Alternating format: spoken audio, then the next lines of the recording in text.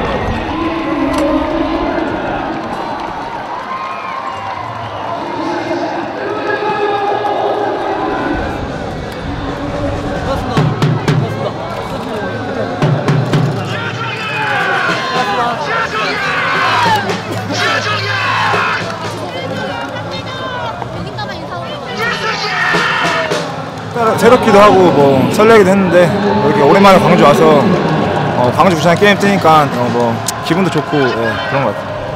일단 원정 경기여서 많이 힘들었고 예전에 광주에 있었을 때는 이제 홈이어서 잘 못 느꼈었는데 원정 와서 또 뛰니까 이게 힘들다는 걸 많이 느꼈고 어, 광주가 이겨서 축구하면서 또 제 팀이 져가지고 좀 아쉽기도 하고요 오늘 경기 서로 다 열심히 한 것 같아서 좀 씁쓸하면서 기분 좋네요.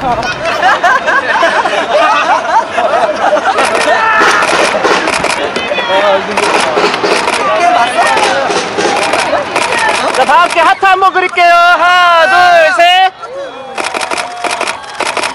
네. 당연히 뭐 당연히 승리할 걸 알고 있었습니다. 어, 우리가 항상 경- 운동하기 전에 승리할 거라고 믿고 있었고 운동 분위기 되게 좋았고 오늘 제가 그동안 꿀을 많이 먹어서 저도 많이 스트레스 받았는데 오늘 꿀을 안 먹으려고 진짜 훈련 열심히 임했고 그 남은 경기 뭐 제가 나갈지 안 나갈지 잘 모르겠는데 나간다면은 지금처럼 최대한 노력해서 무실점을 준비하겠습니다.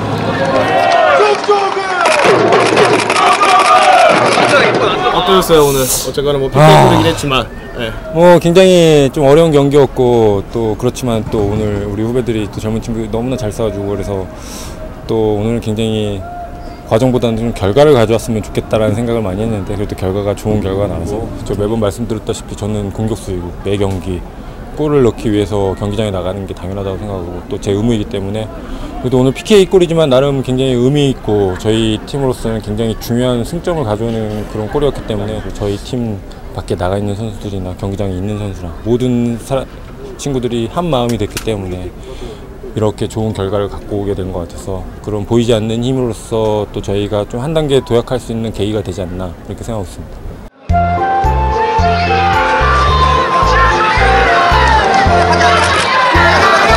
It